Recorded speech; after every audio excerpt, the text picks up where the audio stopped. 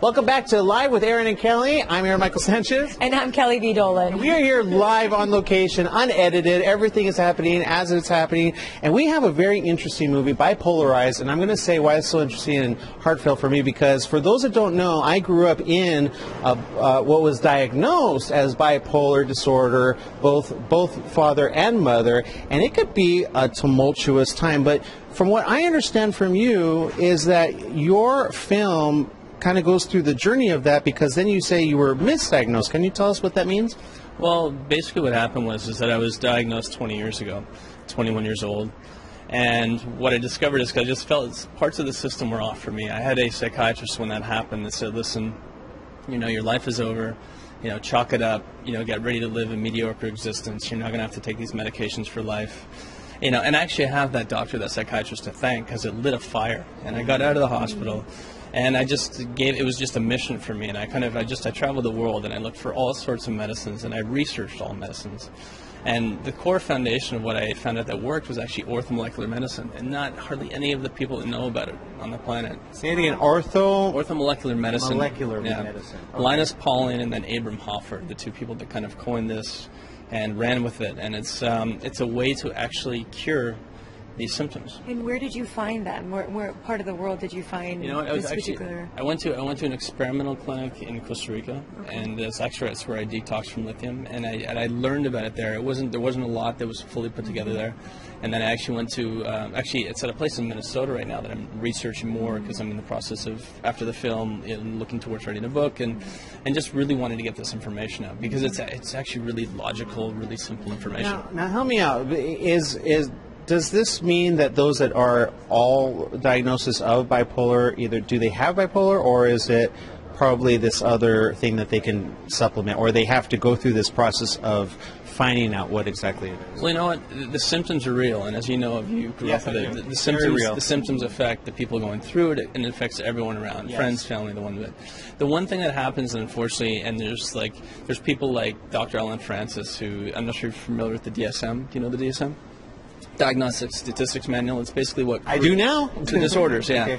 So there's there's psychiatrists like that coming out saying, listen. Oh yes, that big book that they had come out with. yeah, yes, yeah. yes. So, but basically, what's what's what's not happening in Western medicine, and, and I know that everyone's in it trying to help people, Mm-hmm. is that when you come in, they're actually looking at you and they're just looking at symptoms, but there's no testing going on. That's true. They label it based on what you, and and I've been in those. I, I've been in those. Yeah, exactly. Because Yeah. I've been with my parents, and they'll ask them, "What? How do you feel? What happens when this happens?" And then they tell them, and I've always that's always, but I always wondered.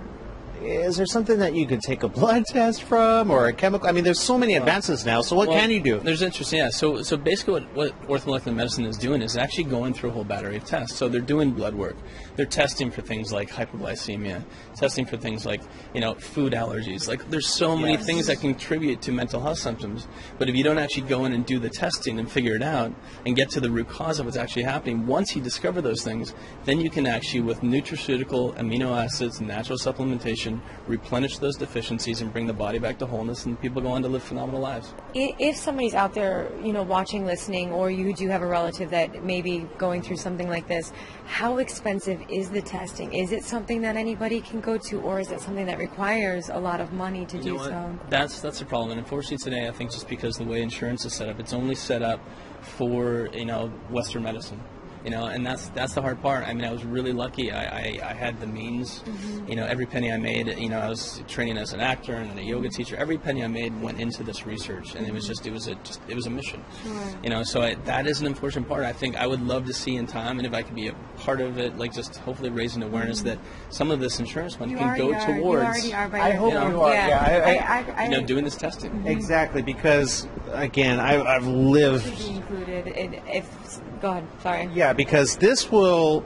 How do I put it? It, it, it if there's something that you want to be prevented in the family, Yeah. it's this because it can turn a family upside down em- through an emotional roller coaster, not just for the person going through it, Yeah. but especially those Everyone around them. Yeah, especially those, and, and and you have in this film some of those interviews of those that were with you, right?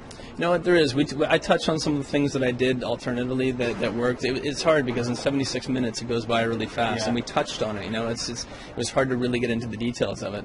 Um, but yeah, we, we, we go there, and I think what I'm excited about because I've seen a lot of films that kind of talk about these issues, but I'm excited because I feel like you know I said you know with myself, director and producers, I said let's make a film where we talk about these issues, you know, create more awareness, but also show people what are some of the possibilities, what are some of the solutions, you know, create some hope because I think a lot of people are so confused right now. Yes. You know, such Yeah. a Well, and I confusing think thing. because it you kind of went through it, it it's like like resonates like you made this a mission to do this versus like somebody who's never been in that situation saying oh i want to cover this this is an interesting topic i mean and it, it's just yeah. a point of view Right.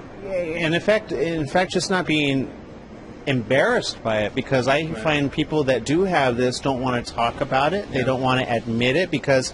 And unfortunately, there is a stigma that if somebody's, you know, bipolar, Right. then people, you know, they label them as, yeah, crazy, or, or they don't want to work with them, or they feel that they're going to go off the handle. And the reality is, I mean, I, I know there are triggers that, that will do with my family members, but I have to monitor Yeah. those. But now, I want to get her to Costa Rica. Yeah, no, there's yeah, and there's there's people that are doing this ortho molecular medicine, just looking them up and finding the people. The thing is, that's what's unfortunate. It does it costs money. It's out of pocket. It's not covered by insurance right now, and that's Yeah. the thing that that's just the reality of where we're at right now. So where can we find this online for those that are listening to you and can't make it out? Although you are being featured on what day? It's Sunday, 10 a.m. Sunday, 10 a.m. Come out, check it out, check the film out. ross mckenzie out now ross um, you said that uh, it's what what day is it again Uh, Sunday. Sunday. Are you local to Los Angeles or No, where you I'm not actually from Toronto. Okay. Yeah, We've got a lot of Canadians here. yeah? Eh? Very cool. So, uh, sorry, I had to. I just had to. But but how did? Do you have a website? Yeah, it's uh, www.bipolarizedthemovie.com. Awesome. Bipolarizedthemovie.com. Yeah. Fantastic. Thank you so very much for taking a moment with us. I want to talk to you Thank more, okay? Because All right. after, because All right. we need to go to Costa Rica together. That way I can find the place. All right. Thank you Am so very much. Cool. Thank you, thank you. We're still here.